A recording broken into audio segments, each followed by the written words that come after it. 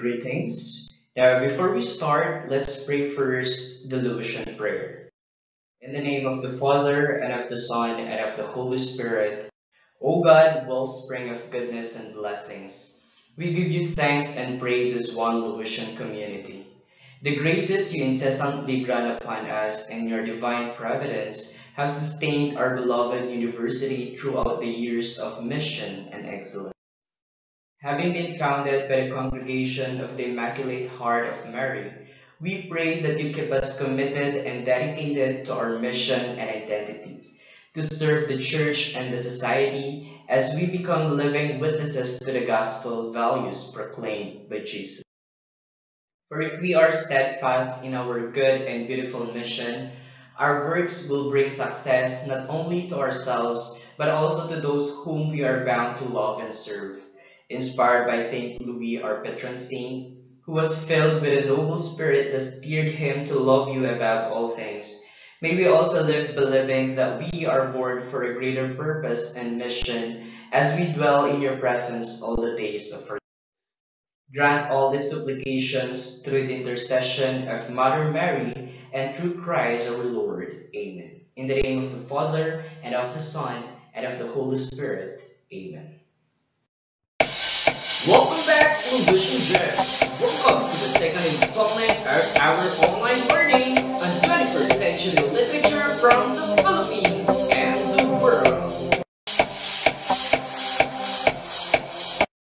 Before we proceed to our next topic, let's have a recap first on the things that transpired last week. So last week we discussed the different definitions of literature. We also discussed the significance of literature. Then lastly, we also tackled the seven literary standards. So for today, we are going to start a brand new topic specifically on the different elements of a short story followed by the difference between prose and poetry, then fiction and non-fiction. Let's start with the different elements of a short story. I believe and I suppose that your junior high school teachers have discussed the different elements of a short story. So this is not something novel nor unfamiliar to all of you. So later on, you'll be encountering the same information that you've encountered during your junior years. So let's start. First element is character. Characters are the representation of a human being involved in a conflict. Or simply, they are the ones who are portraying the roles in a story. It could be Jughead in Riverdale, Eleven in Stranger Things, Tokyo in Money Heist, or number 5 in Umbrella Academy. All of those are examples of characters. Now, character has two types. We have protagonist and antagonist. Basically, protagonist is the hero of the story, while antagonist, it's the other way around. It's the villain or it's the foil to the protagonist. Don't you know that according to Reader's Digest, they actually conducted one survey in UK and they found out that Joker is considered as one of the most hated characters of all time. I don't know why, but probably because Joker was a well-played character in the story. But of course, we can also learn a lot of values, good values from antagonist characters. Just like Cersei Lannister from the Game of Thrones, where she values a lot her family because she believed in the saying that family comes first before anything, which was actually resembled by her character.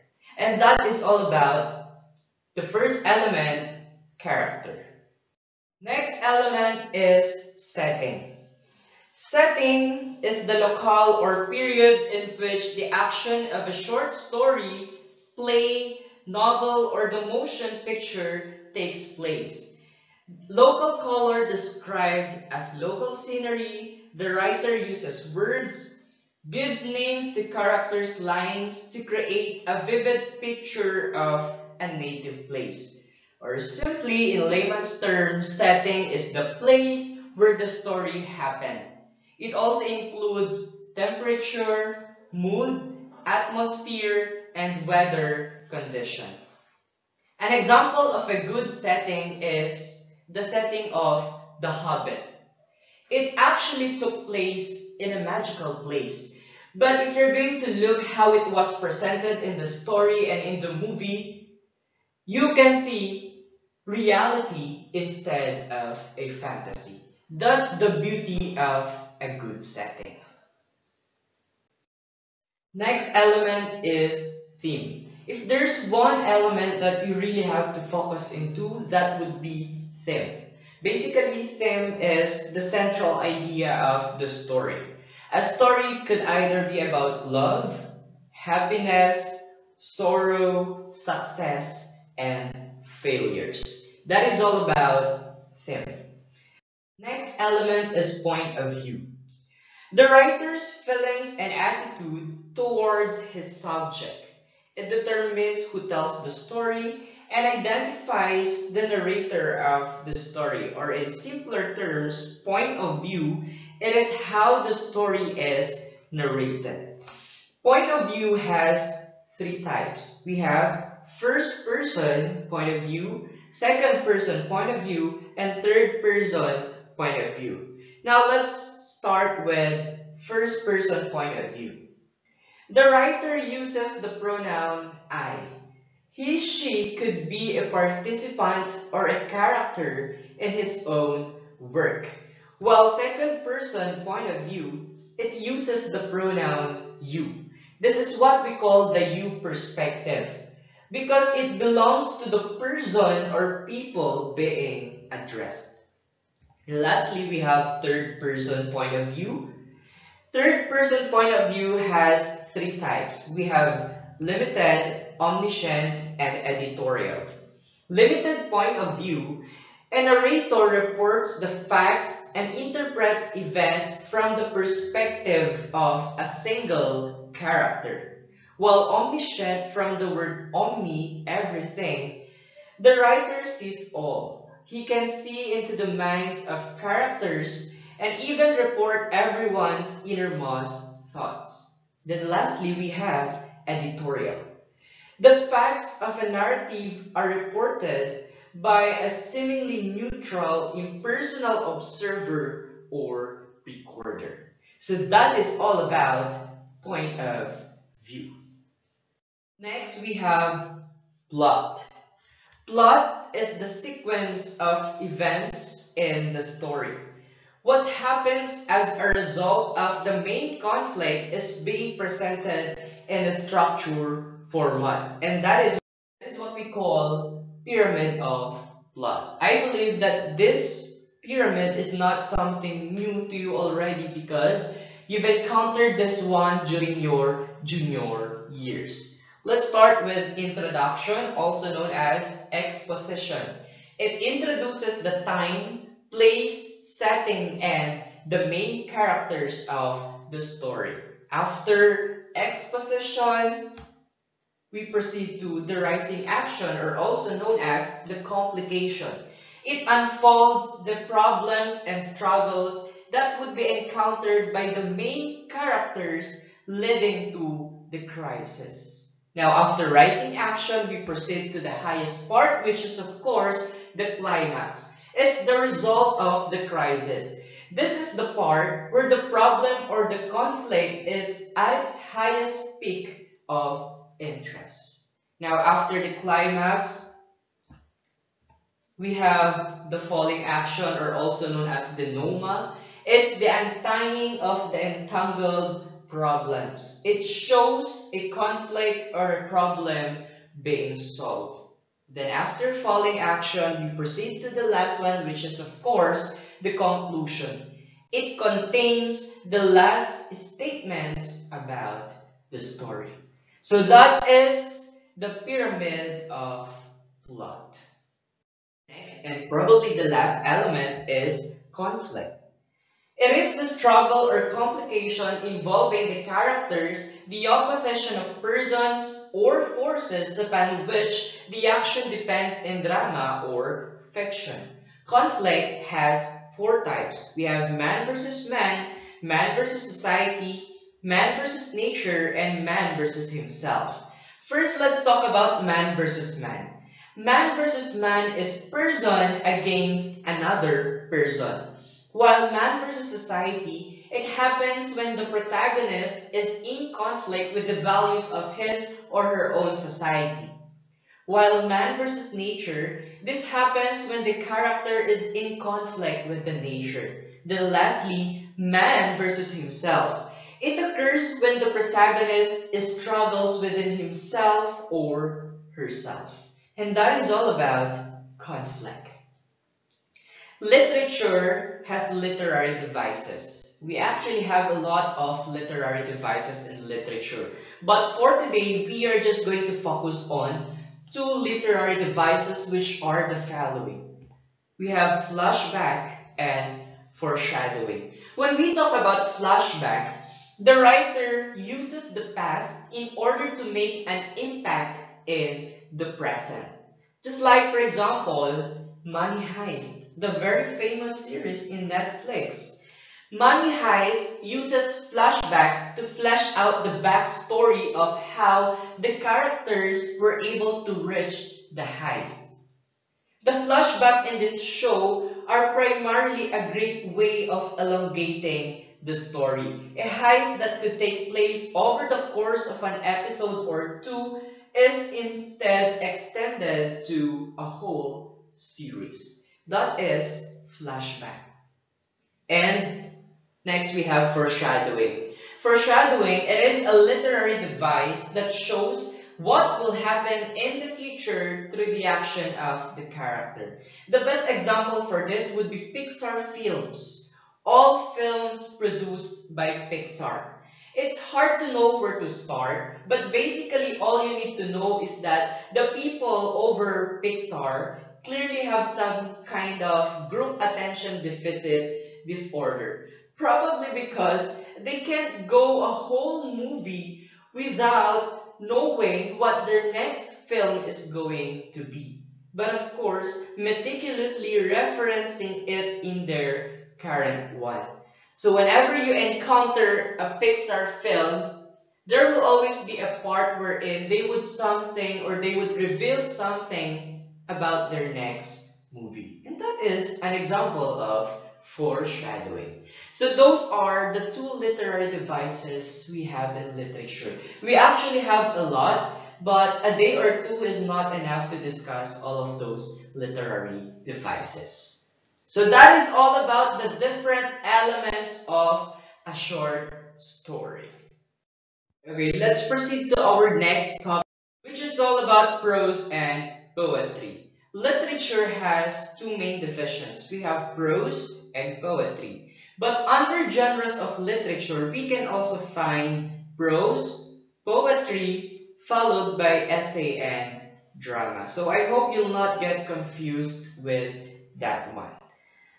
Okay, let's proceed. First, let's try to differentiate prose with that of poetry. First, we have form.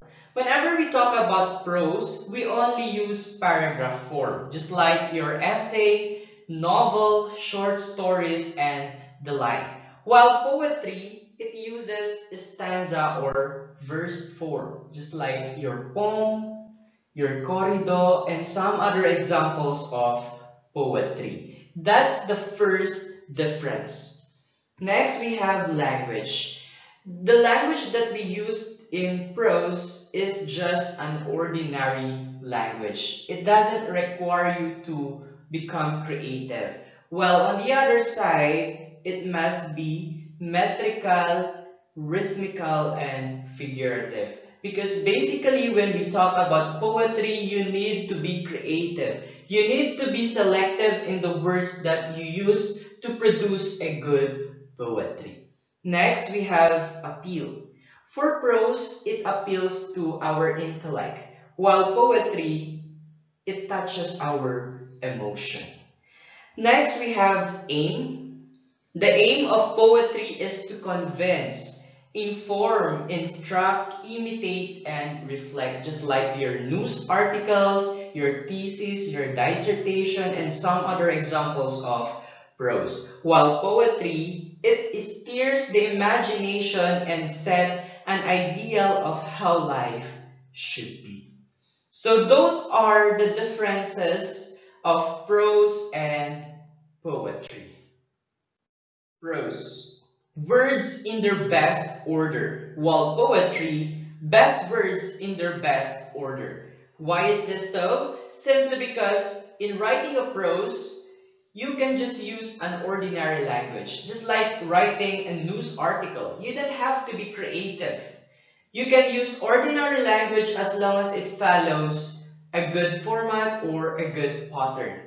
While poetry, you really have to be creative. You need to be selective with the words that you incorporate in your writing. Because poetry, you have to choose the best words together with their best order. And that is prose and poetry.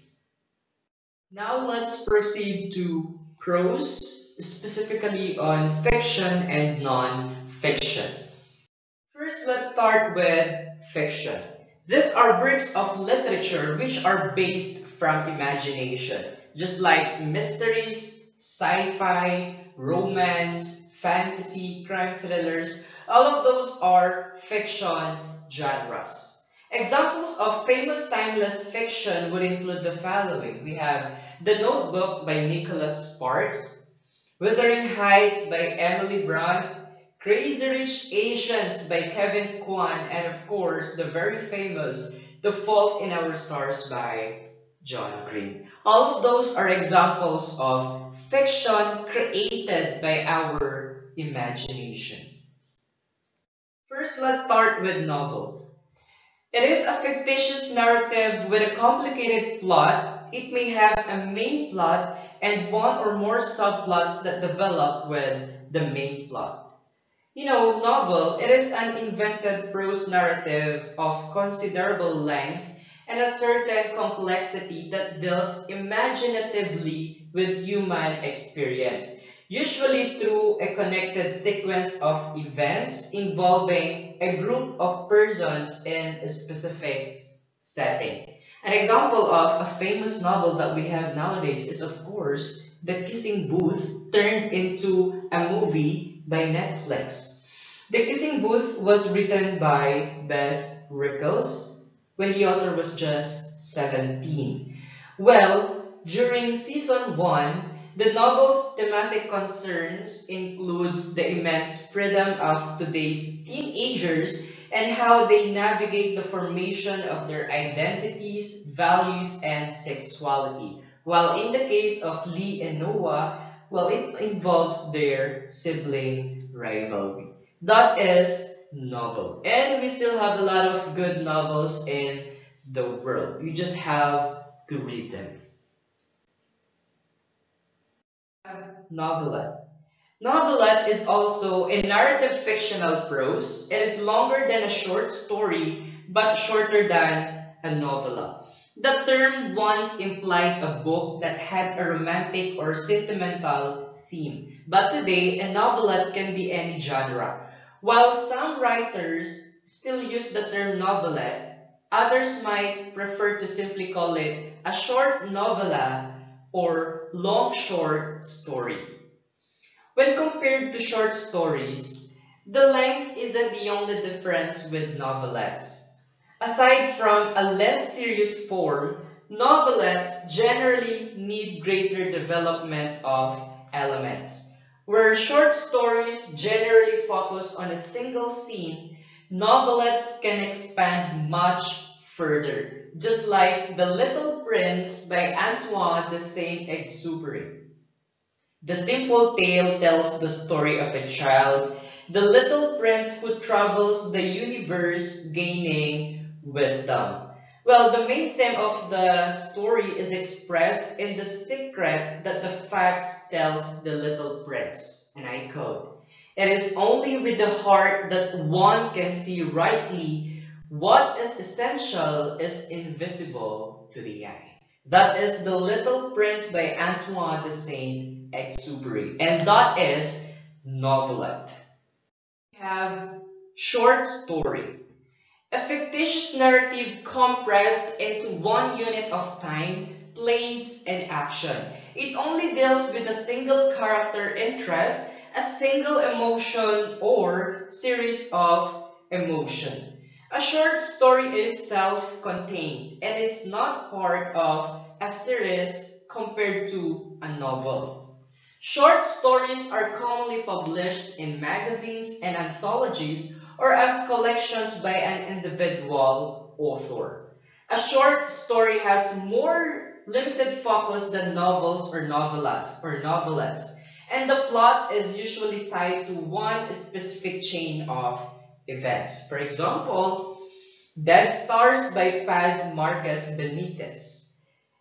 It depicts a plethora of battles that a human being is involved depending on the circumstances and interactions with other human beings. Characters like Alfredo, Julia, etc. are fighting not just against the odds fate has put before them, but also their circumstances, public and moral obligations. That is an example of a short story, and that is all about a short story.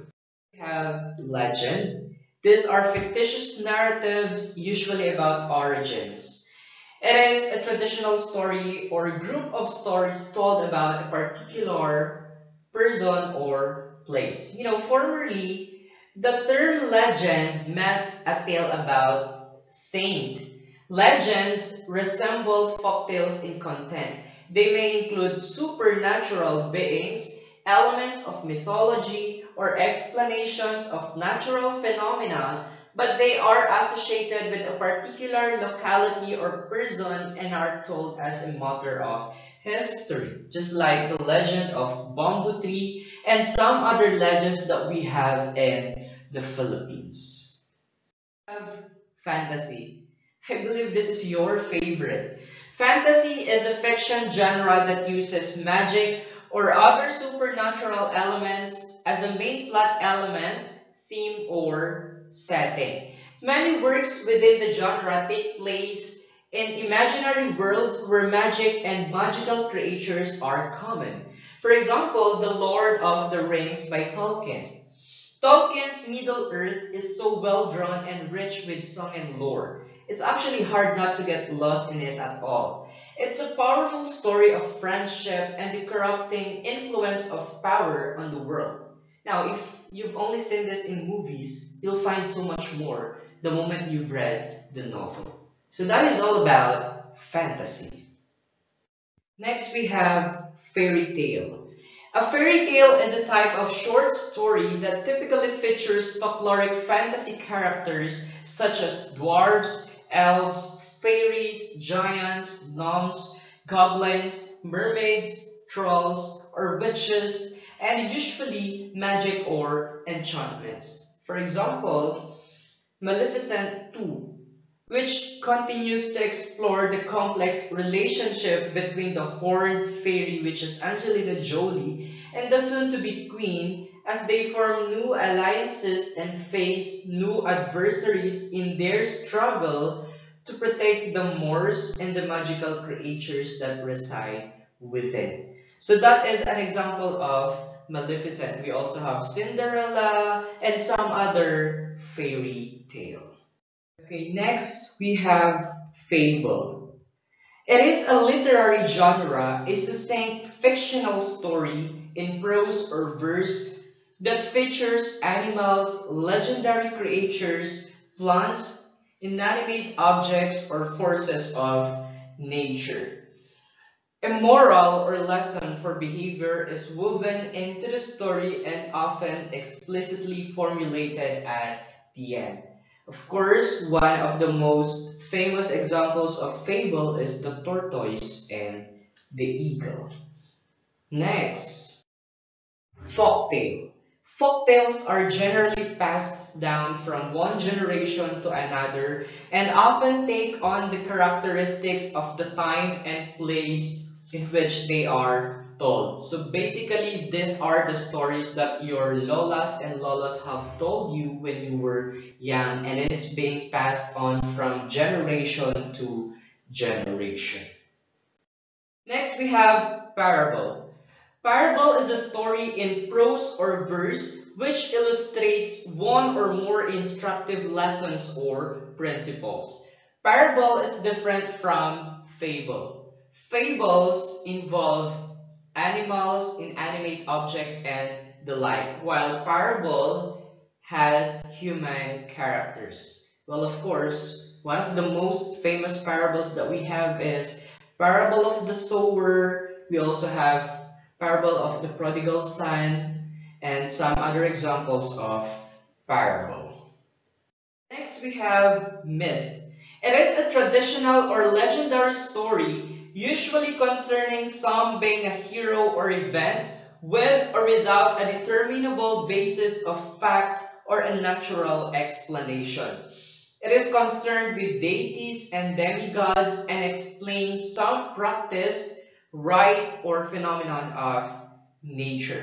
For example, we have Greek mythology, specifically the story of the adventures of Odysseus, Troy, and some other examples of myths. Next, we have anecdote. These are merely products of the writer's imagination and the main aim is to bring out lessons to the readers. Just like other forms of stories, Anecdotes are common and highly effective devices found throughout literature.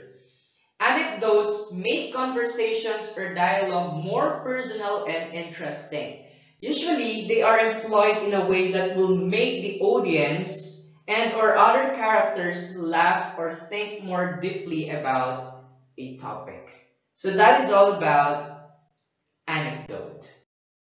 Next, we have plays. This is presented on stage, is divided into acts and each has many scenes. The playwright uses various dramatic elements to create more profound meanings and enhance understanding of the audience. Also, they insert text apart from the actual dialogues of the characters to unfold the description of characters on stage, their natural action, and psychological intentions. In this way, the writers make their text emotive, laugh-like, and thought-provoking. Of course, the very famous example of play, of a play is Ang Huling El Bimbo. Well, it's actually a story about friendship told by using the songs of the most iconic Pinoy rock band from the 90s. So if you haven't watched Ang Huling El Bimbo, you better get your copy now and watch it now.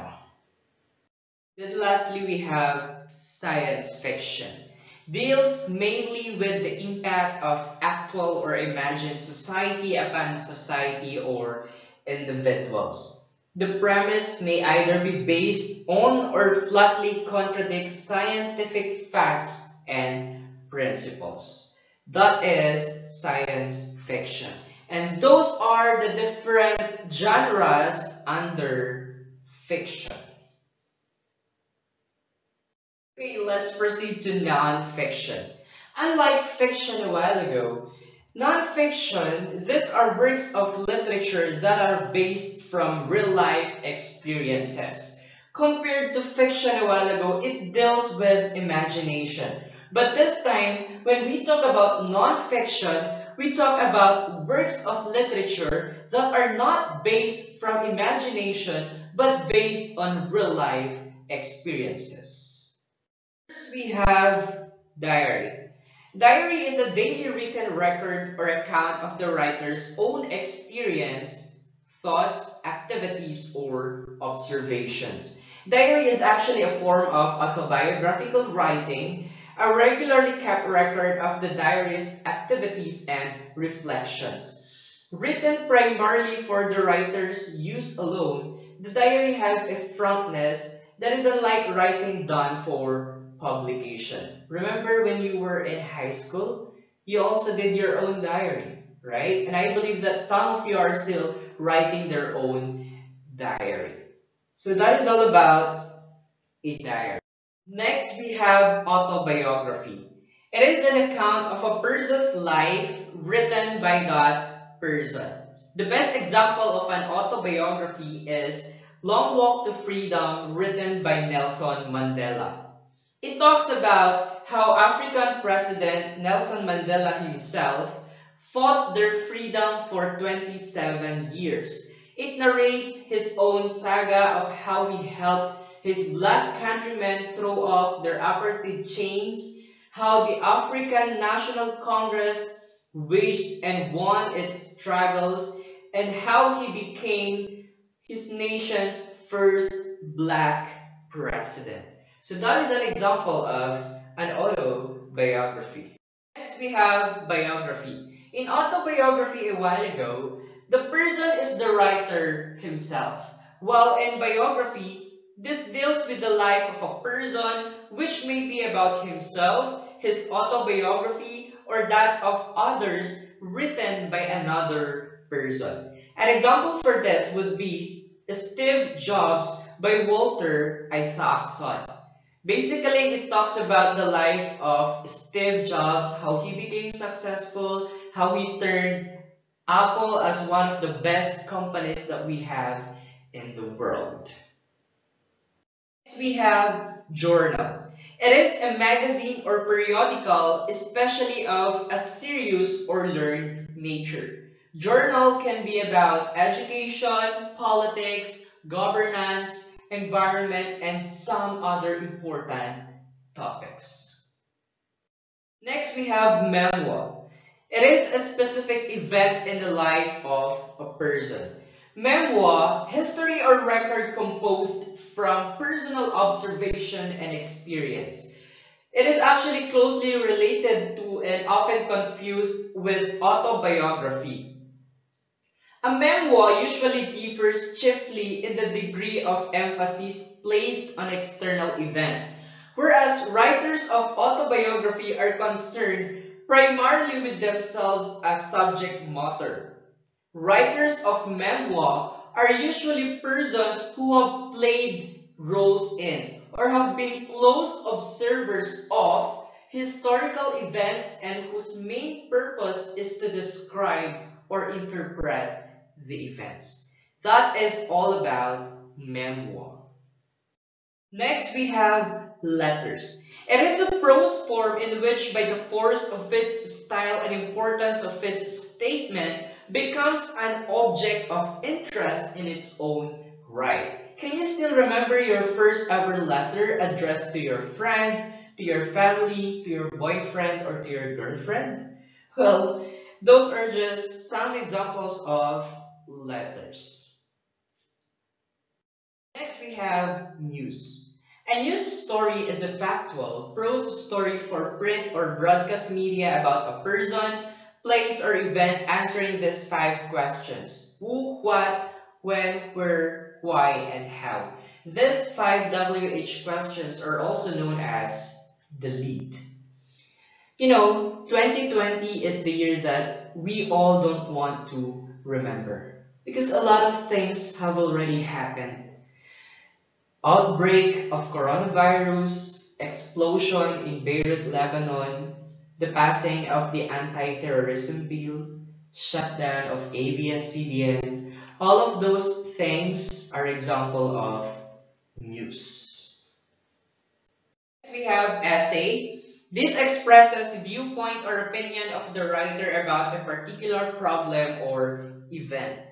Did you know that the word essay is derived from a Latin word exagium, which roughly translates to presenting one's case. So essays are a short piece of writing representing one side of the argument or one's experiences, stories, etc. And essays are actually very personalized. We have speech. The expression of or the ability to express thoughts and feelings by articulate sounds. Who is your favorite speaker? Well, as for me, my favorite speaker would be Bill Gates and Steve Jobs. Next, we have oration. This is a formal treatment of a subject and is intended to be spoken in public. It appeals to the intellect, to the will, or to the emotions of the audience. And usually, oration is being delivered in a formal and dignified manner. And of course, we call the speaker as orator. And I believe some of you have already experienced oration. Next is research. It is a systematic investigation into and study of materials and sources in order to establish facts and reach new conclusions. During second semester, you'll have your research subject. This is actually done as a requirement for a class. Then we have thesis a long piece of writing on a particular subject that is done to earn a degree at a university. Later on, the moment you enter college, you are required to finish your thesis. Because if you're not going to do so, you will never graduate in a certain university. And lastly, we have cooking books. A book of directions explaining how to prepare and cook various kinds of food. For example, we have salt, fat, acid, heat, Mastering the Elements of Good Cooking written by Samin Nosrat. The title's four words refer to the central pillars of cooking. The book actually explains how mastering them will transform everyday cooking from rote recipe following to something more intuitive and just like. So that is all about cooking books. And those are the different genres under non-fiction. Okay, that ends our discussion for today. Now, for questions or clarifications, you may contact any of the following. Just check your teacher's messenger account, check your teacher's email, or you may also visit their LMS profile. And of course, don't forget to like, subscribe, watch on our YouTube account, Languages Academy. That's all for today. Stay safe and God bless Lubitian Gems.